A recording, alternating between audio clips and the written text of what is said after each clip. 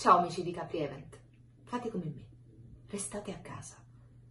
Non buttiamo tutti i sacrifici che abbiamo fatto fino ad oggi.